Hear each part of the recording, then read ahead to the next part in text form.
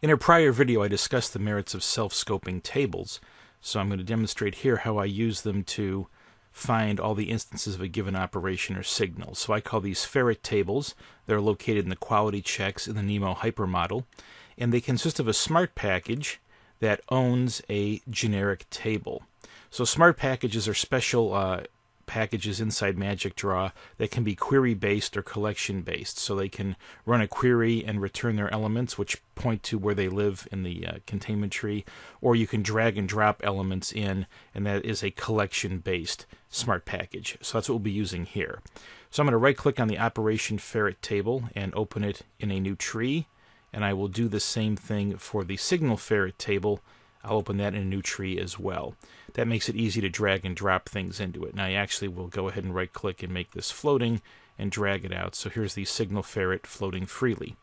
So let's say there's a specific signal that I want to investigate, and as part of a cybersecurity analysis I was running for an NDIA paper, the ground command was the signal of interest. I can go ahead and find the ground command using the search, and I can drag and drop it into the signal ferret.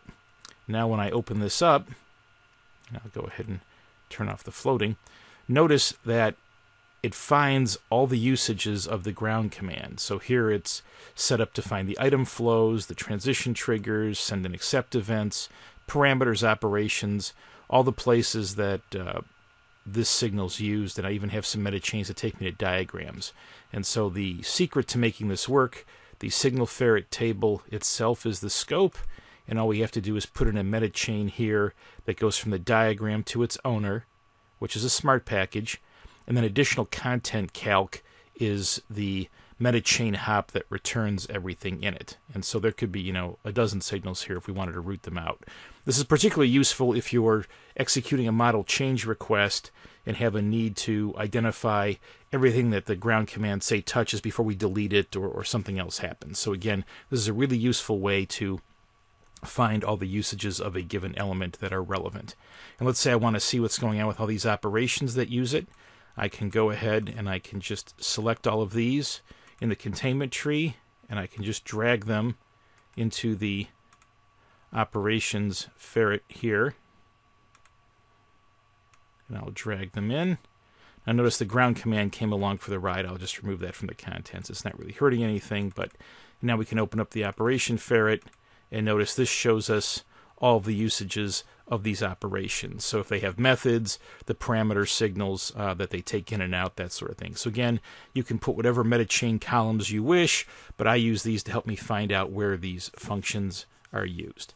And so again, the ferret table is a powerful concept. Again, it's a self-scoping table that um, you can drag and drop other elements into to find usages.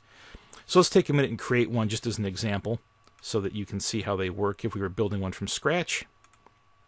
So if I come down here, let's say I wanted to find um, all the part properties typed by a given block. And so we'll go ahead and we'll create a smart package here. We'll call it the block ferret. We'll go ahead and we'll create the generic table that is going to live inside it.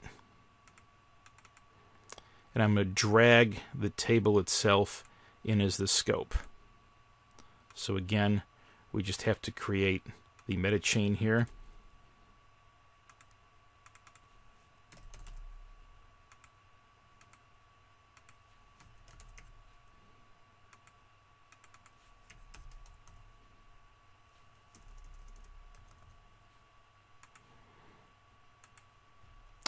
And we want the element type here to be blocks.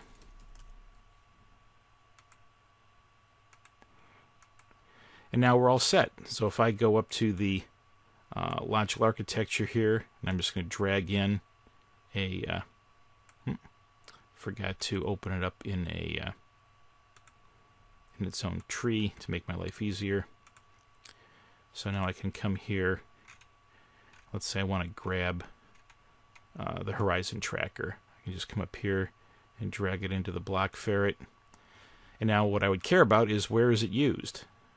And so I would just add my custom property here.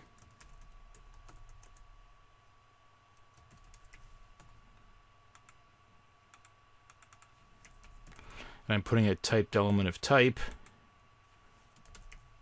and we'll say it's a part property.